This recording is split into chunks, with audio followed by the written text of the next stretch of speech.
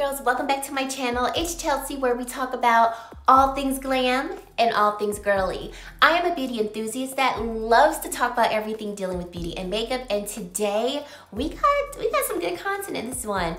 We are comparing two foundations from Dior. They are new releases. One is going to be the new Dior Forever Skin Glow Foundation and the other is the new and reformulated Dior Capture Totale, turn it around, foundation. So both of these foundations are not necessarily new to the collection or the brand, I should say, but they both have been reformulated. So I cannot wait to show you all how they perform throughout the day. We will be having both of these foundations on for eight hours. So stay tuned at the end of the video for my final thoughts and to see how they wear. And you guys, remember I was talking about these and will I buy it, my pay or stay? I did end up picking up both of the new Chanel blushes. So I will also be demoing both of these in this video and sharing with you my thoughts about them. So stay tuned for all of that. Thank you so much for spending some time with me today. I truly do appreciate it. And let's get right into this video. With the new Dior, or I should say the reformulated Dior Forever Skin Glow uh, foundation. This is what the bottle looks like. It does look slightly different from the packaging of the original one. Now I do have a sample of the original Forever Skin Glow, so if you are interested in seeing a comparison between the two, leave that in the comment section down below. I did pick up the shade 4WP, and this does retail for $52, and we get the standard one fluid ounce or 30 milliliters of product. This foundation does come in 42 shades, and it is available um, at Sephora, and I saw it at Nordstrom as well, and of course on the Dior website. So this is going to have medium coverage, a radiant finish. It's supposed to be hydrating and long wearing.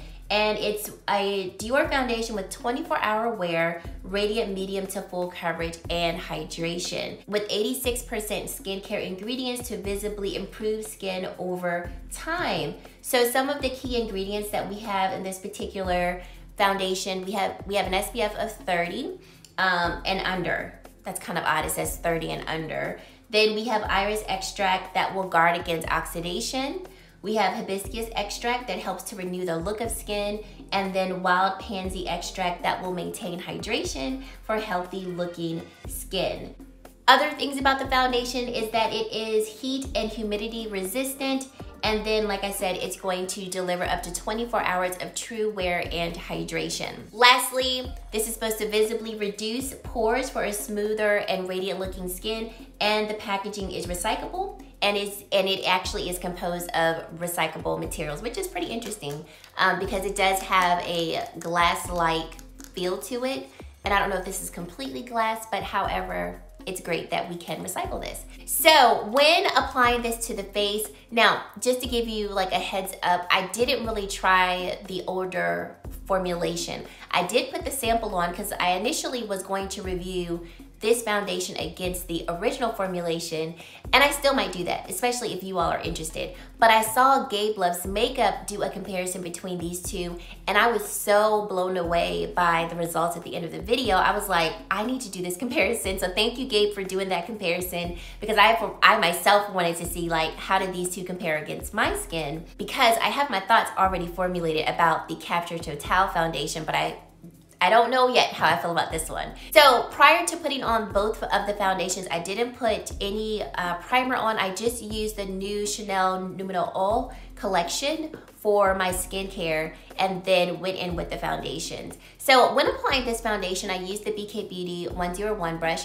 and I felt like this foundation was a little thick, like not too thick, but it definitely like doesn't have any type of like uh, fluidity to it.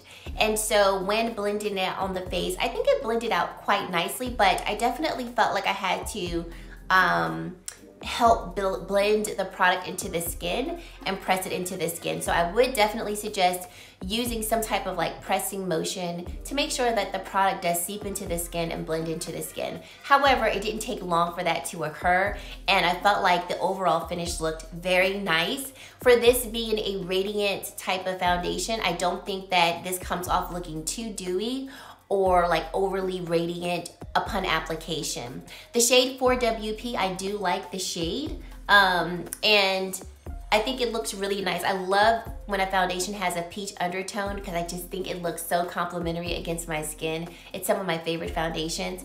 And um, I think it I think it blended really nicely into the skin. I would highly agree that this has medium to full coverage because um, it didn't take much to really dull down my freckles. And I do think that this is buildable. So um, on first application, I felt like I had like a nice like light medium type of coverage and then after adding that second layer I do feel like I was able to build it up to like a nice solid medium type of coverage. So I think you could potentially build this up to full coverage maybe like a light full coverage. Um, I don't think you can get like opacity with this but I definitely think you can get a nice strong medium to full coverage with this foundation. Now moving on to the Dior Capture Totale Cell Energy Serum Potent Serum Foundation. So this foundation retails for $82. We get a total of 12 shades and we get the standard one fluid ounce of product. Like I mentioned earlier, this is reformulated to their line. So this is a hydrating serum foundation reinvented to deliver not just coverage, but firmer, more radiant skin over time. So this serum foundation combines the revitalizing power of Dior's Gardens Precious long, Longoza flower with the hydration of hyaluronic acid. The anti-aging makeup essential is formulated with skin perfecting pigments to instantly smooth and brighten the complexion. So this foundation I have been wearing multiple times since I purchased it and just as a heads up, I love it, I stand for it. It is so plumping on the skin and I already know you're gonna ask and I gotta do a foundation comparison between the two. So we got a whole lot of foundation reviews and comparisons coming. I am gonna compare this one to the new Chanel foundation because both of these both of these foundations add like a very youthful, plumping, and radiant and revitalizing look to the skin. And so I wanna see them in action next to each other because just off of just how they wear alone. I can't say which one is better, which one does that, you know, and all of those things. Um, but this one, very similarly to Chanel, adds a very plumping, hydrating effect. And every time I wear this foundation, I'm just like, look at my skin. Look at her. She just looks so youthful. So I went in with the Sonia G Jumbo Base Brush. I think that was what I used. Yes, Jumbo Base Brush to blend out this foundation. I did add too much because it took a lot to blend it into the skin and I felt like I was getting some streaking while I was trying to blend it into the skin. And I haven't had that issue before because I don't typically go in with that much just for half my face. So what you saw me apply, I typically use that to apply all over the face. So I definitely had to go in press it into the skin, but it ended up blending really nicely. This particular texture is thinner than the Dior Radiant or Forever Glow foundation. Um, so like I said, I did have some streaking initially because I added too much. So just press it into the skin if you're using a brush or you can use a sponge and definitely do not use too much because you don't need a lot. Um, when this is applied to the skin after blending it in, it just looks so flawless on the skin. Like this foundation is for sure going to be a favorite of this whole entire year.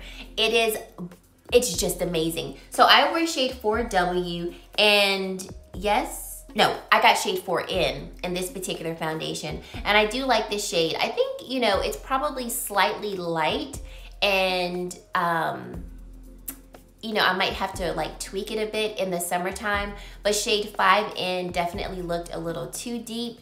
And so, you know, I'm, I'm working with four in and I don't know, maybe in the summer if I feel like I need it, I'll get five in if I feel like I can mix the two for a better shade. That's how much I like this. I will spend another $82 if needed so that I can wear this foundation all year.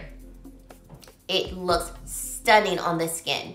Um, so looking at both of them on the skin after applied, I think both sides look really, really beautiful and just youthful and like radiant. Um, I do feel like the Forever Skin Glow does come off looking a little more matte than the Dior Capture Totale foundation and I still feel the same way now. So I've had both of these foundations on for about two hours right now. And looking at them both, I do feel like I see more radiance on this side of the face compared to this side of the face. So wanted to do flash photography since both of these foundations do have SPF in them. And surprisingly, I don't think we see really any major flashback between either foundation.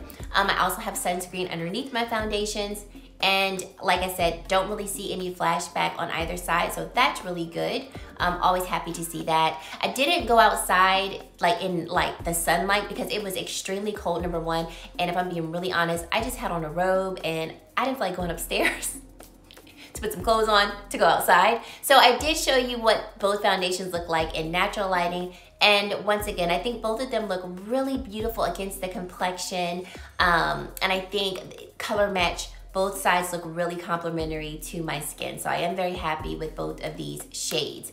In terms of coverage for the Capture Totale, I think we do get a nice strong medium. Like I would say between medium almost to full coverage with this Capture Totale, which I was really shocked about because this foundation is more so like a like skincare foundation. So I wasn't expecting a lot of coverage from it but it actually comes with a lot of coverage. Um, I do have a nice little pimple here and I did have to put my mask on temporarily um, like before I finished my makeup. So I do think some of the foundation did rub off from that acne scar because initially I felt like it covered it pretty nicely. I also saw before um, I finished my makeup that from the mask, I did have two mask lines on my face. So um, like I said, it was before like I set my makeup and things like that. So we'll definitely see how this these foundations hold up under a mask now that I've set everything because I do have to do some running around. So we'll stay tuned for that later on in the video. Um, however, I was able to just take my foundation brushes, tapped over the lines and everything blended back in. So it wasn't a hard fix, but you know, just to let you know, both of these foundations are going to need to be set so that they can last longer. I'll say that.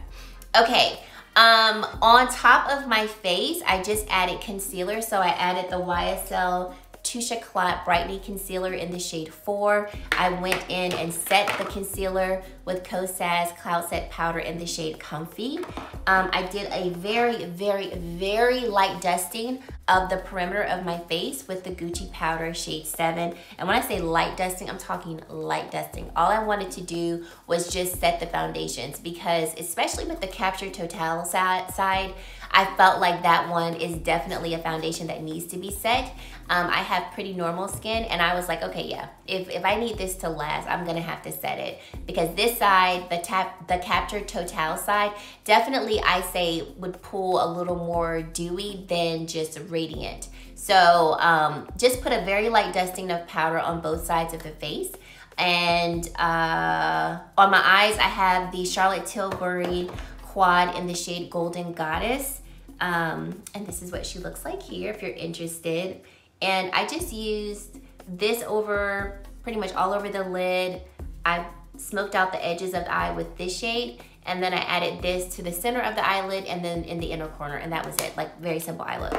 Okay, and then um, Lancome Lash Idol Mascara with the Lancome Lash Primer and Kosas on the brows. So that's what's all over my face. So when I initially like did my eyeshadow, did my brows, I did show you all a clip of how both sides looked. That was just with concealer, um, a little bit of powder, and like I said, eyes and brows done. And I think both sides just look stunning. Like both sides just look stunning. And when I shot the footage of those foundations before I put on the blush, it was right before I, I started filming now. So both foundations have been on for about a couple hours and I just, both sides look beautiful. I am so interested to see how these foundations are gonna hold up throughout the day and compare to each other because I know how the Capture Totale works, but I'm interested to see how Dior works. So very interested in that. One last thing that I wanna point out is I do have some settling of the Capture Totale in this fine line here. So I'll come in a little closer so you can see it. So we'll take a look, see how that wears throughout the day, see if we have any additional settling or anything like that. Um, but everywhere else, I think everything just looks stunning, okay?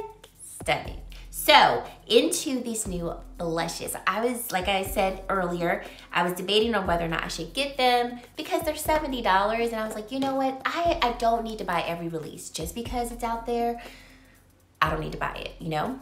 I need to save money, not buy everything.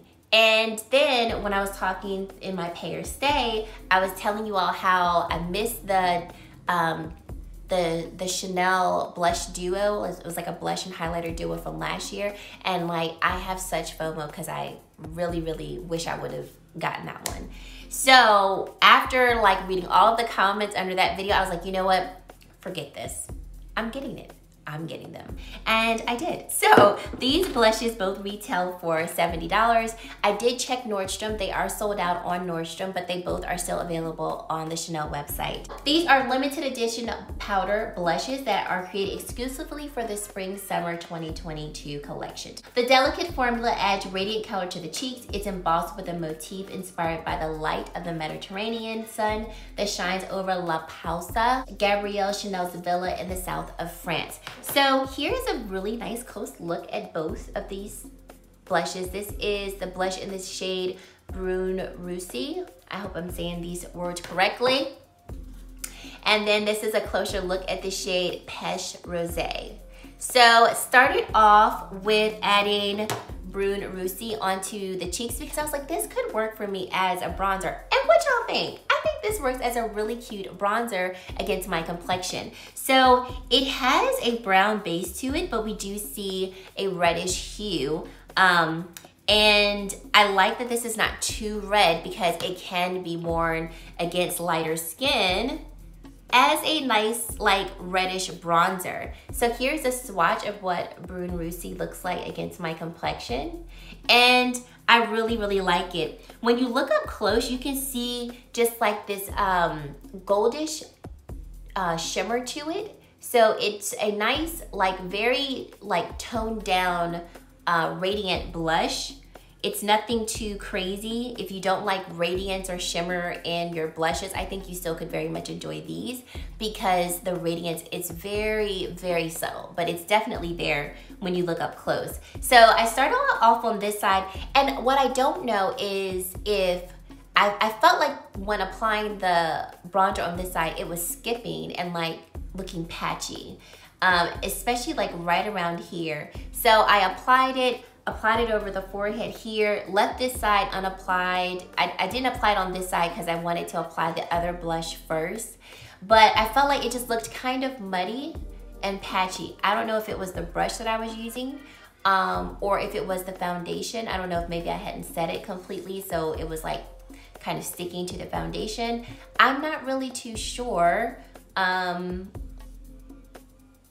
but I'm, I'm, I'm wondering if it was more so the foundation versus the blush because when I got on this side, it was a much better application. I'll get to that very shortly. Um, but I did go in and like kind of blended it out with my Sonia G Smooth Buffer Brush and I felt like we got it to a point where it looked pretty nice. And I was just like, okay, okay. Then I went in with Peche Rosé and blended it out on this side of the cheeks. And it's a, it looks like a highlighter on me. And that's what I thought when I initially saw um, Hey It's Jacqueline review it. And I was like, okay, this is probably just gonna be like a highlight on me. And initially I wasn't going to get it. But then I was just like, well, you know, if it is a highlighter, like it could be a really beautiful one. So I'm still gonna get it. So then when I saw it, I was like, oh, this looks like this is actually gonna show up like this color on the cheeks. And I am slightly disappointed that it doesn't. I was hoping that I would get more like peachy coralness from it because it's so pretty. But against my complexion, I think it just looks more like a highlight. And I'm not gonna lie, the highlight is stunning. So here's a swatch of it. And it just, like I said, just looks more like a highlighter on me. So, I mean, I wish it had more color to it so that it could pull more like peachy and like corally, but I do like it and I think both shades together on the cheek look very complementary. So when I applied um, Brun on this side of my cheek, I went in with the BK Beauty Travel 107 brush and blended that in and it blended flawlessly on this side. So I don't think the patchiness was from the blush. I think it might have just come from the foundation and maybe I didn't set it enough in that area. Um, and that's why it was kind of patchy um, because it looks so beautiful. So beautiful against this side of the cheek. So I did like put it back on this side to try to even out both the sides. And then I did add Peche uh, Rosé on the apples of the cheek here so that the blushes looked hopefully complimentary. But I really enjoy both of these blushes. And like I said, I wish this would have been deeper in the actual pigment and shade of the blush, but I am happy to have it and I'll just use it as a highlighter because that's pretty much what it looks like against my skin. On the lips, I'm wearing the Shantakai Lip Chic in the shade Damask. I love their lip cheeks, so pretty and comfortable. So that is the finished look. I'm gonna go about my day and then we will check back in about eight hours later and share with you my final thoughts and also see how both of these blushes held up, especially under my mask. So stay tuned. Okay, so we are back. It is the end of the day. I've had both of these foundations on for at least eight hours. So let's come on in and see how we've held up. Okay, so just off of first impressions, I, I think both sides look really good after eight hours. Now, as you can see, I wore my mask like multiple times today, like talking in the mask, taking it on, putting it off. So we definitely see like right around here, I don't really have any product left on my nose. That's from the mask. You can also see where the um, foundation has rubbed off on this side and we can see a little bit on this side, but I feel like you can see it more so like right here. Um, we don't see it as much anymore, but when I would initially take my mask on and off, I would see um, mask lines on both sides. And um, I did do some eating today, um, but not too much. So for the most part, you know, both of these foundations, I would say it's more so the Dior one. It was saying that it has um, 24 hour lasting power. I, I mean, I don't think it's gonna last that long. Um, a good amount of it is still left on my face and I think like looking at my face from afar, you can still tell that I have makeup on. But I think for the most part, both of these foundations held up very well after eight hours, but we do see some wearing away of the uh, foundation from both of them. If we did not have to wear a mask or anything, these would look so much better.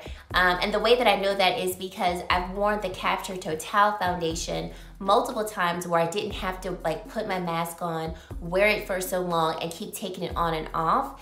And it just looked so flawless at the end of the day. Like it looked beautiful. And I can tell that this Dior one has the potential to do the same because in terms of like finish, I feel like the Dior side still looks a little more matte. It's not as uh, luminous. It's not as like almost dewy like like the Capture Totale is. Um, so I do feel like we can get very good wear from the Dior side and I do feel like the Capture Totale side does give us really good lasting power. Like I said, granted, in this day and time, we are wearing our mask a lot more, um, but if you did not have to wear your mask all day, every day, or if you weren't just constantly taking it on, putting it, taking it off, putting it on, where you're gonna be constantly rubbing the foundation away, then you're gonna have, you know, much better wear of the foundations. But I do think for what, you know, the foundations have been under, taking the mask off, putting it on, taking it off, put it on. I think both sides have held up very well and I'm very pleased with them. Now, in terms of who I think these foundations are for, with the Dior, let's let, let's talk about it. With the Dior, this is a Forever Glow foundation. And I think for it to be a glow foundation, it is not over, overly glowy. It's not overly dewy. Um, yes, we do see some radiance on my face, but nothing alarming and nothing like that I, I thought it would be. I thought I would have had I thought I would have had as much like radiance on the Dior side as I do the Capture Totale side. Um, and so I feel like this foundation really could work very well for, of course, uh, drier skin, normal skin, combination oily. I mean, I would say if you have oily skin, you, you probably would want to check out the matte version because they do have a matte version. There are 42 shades in the matte version as well. Um, but if you're somebody who's like, I kind of want to try like a glow foundation, but I don't want anything doing the most, this one might be one to check out because I'm, I'm quite shocked, even like around my nose, I've got some radiance, but like nothing, like I said, nothing alarming or nothing that's like, oh my gosh, I need to blot like yesterday. Um, so I, I'm actually enjoying this. I, I didn't know what I would think um, because like I told you all, I never really tried the older formula to like really get to know it and see how it, you know, wears and all of these other things. So you know, happy to have this one. I do like this one and I definitely can see myself reaching for it. With the Capture Totale, I'm just in love with this one. I do feel like this one is going to work better for people who have drier skin or normal skin. Um, unless you have combination oily skin or oily skin and you just like a really good radiance, I don't know if you would enjoy this one because it is a little more dewy. It is a little more radiant than what you might like. Um, this one also only has 12 shades, which is not acceptable. And for this great of a formulation, we need more shades. However, my friend Gabe from Gabe Loves Makeup, he's been in the industry for over 30 years and he was actually the one who recommended this one to me. He said that even though there's only 12 shades, they are able to match people quite well with the shades that they have. And so this foundation can be flexible. So if you are interested in this foundation and if you are able to go in store and try it out, definitely go to a Dior counter so that they can match you because you might be able to find a shade even if it doesn't look like there's a shade from the website. So you know, don't let the 12 shades discourage you, but you know, do know that there needs some more work on the shade range. Now in terms of my smile line, there was no additional settling and yes i was taking my mask on and off but from previous times that i've worn this foundation there there is no excessive settling of the foundation in my smile lines. And just overall i feel like whenever i wear this capture totale foundation my skin just looks more plump and radiant and youthful. Like i love this foundation. So in my opinion, both of these are a win for me, but if I had to choose one, I'm so still going for Capture Totale because this one just, look at her.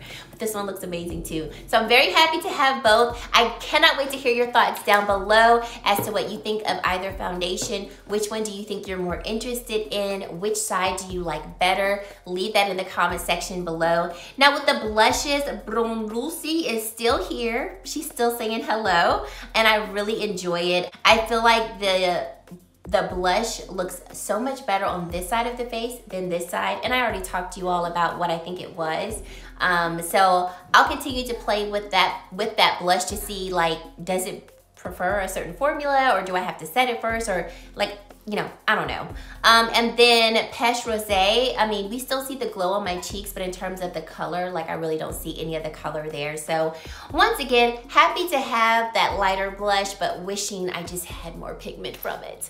Um, but all in all, very happy with the products that I used today. And I would say for the Chanel blushes, I'm glad that I have them. I don't regret purchasing them. Um, but if I had to choose one, I would go with Brun Roussi because that one in terms of how it shows up, it actually shows up as having some color on the cheeks. Um, and, then, and unless you just want the Peche Rosé, I don't think you need it if you're anywhere around my complexion, unless you want to use it as a highlighter. That's how I'm gonna use it so I can get some use out of it. Um, but I don't think both blushes are a need if you can't wear both of them as a blush. Does that make sense? Like if I would have been able to try these out in store, I just would have picked up Brun Roussi. Okay? Okay, so let me know your thoughts down below on all of the products we tried out today. And if you've made it to this point in the video and you haven't yet to subscribe to my channel, I would love for you to consider subscribing and joining the Glam Girl Squad because we'd love to have you. And guys, that is it. Thank you so much for watching and I really hope to see you in my very next video. Bye guys.